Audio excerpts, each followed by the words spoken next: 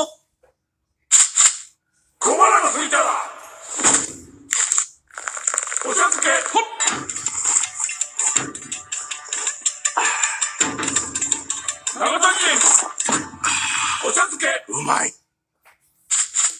しじみのエキスをぎゅっと濃縮私はお味噌汁で美味しくいただきます一杯でしじみ70個分の力の一種い売り上げナンバーワン永谷さあ生放送を見てくれているみんなにだけ素敵なプレゼントが当たっちゃうチャンスタイムだ今日の「ハッシュタグオおはスタイム」週は全員のサイン入り番組パネルと超激レアのデュエマカードに加えて仕込まるグッズ詰め合わせとコミックスも一緒にプレゼントさあみんなカメラの準備はいいかなこの後テレビ画面をバッチリ撮ってくださいでツイッターにアップしてちょうだい今日はチコまるとそのお友達のナブマルとのツーシャッターですはい制限時間は5秒いくよシャッターチャンスせーのおはようタイムうわ力まけた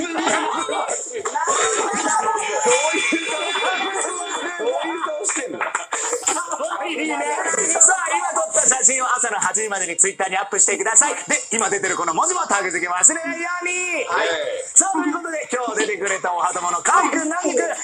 ありがとう。さあ、かいくん、かいくんの将来の夢を教えて。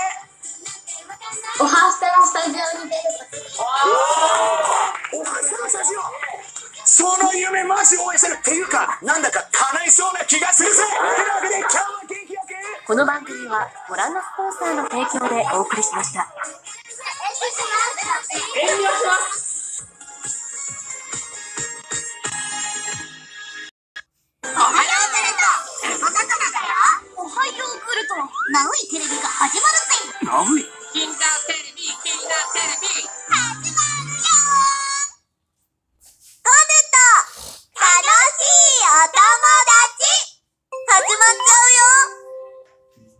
敵なプレゼント。今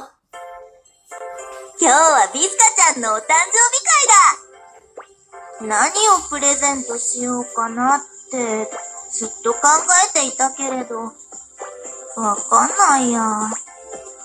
うーん、何かないかなうーん。あ、ビーボー何しているのビスカちゃんのプレゼント探しているんだけど、見つからなくて。ビーボーもなんだ。うん。どうしよう。さっき、カイネちゃんがね、気持ちが伝わればいいのよって言っていたんだ。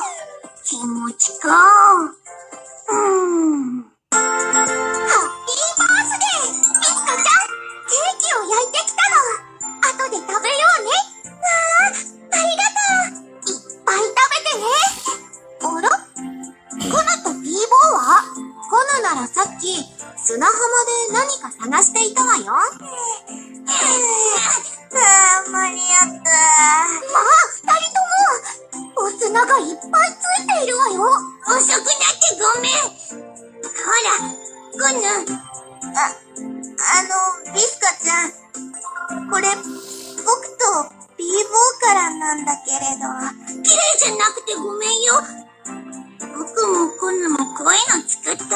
なくて。ああ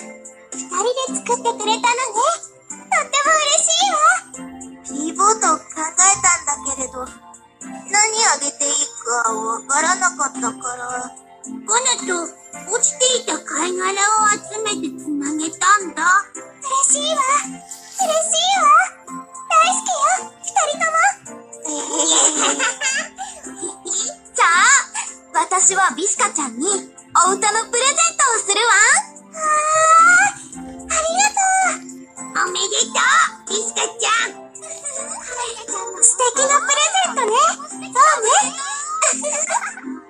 そうね心のこもったプレゼント嬉しいわね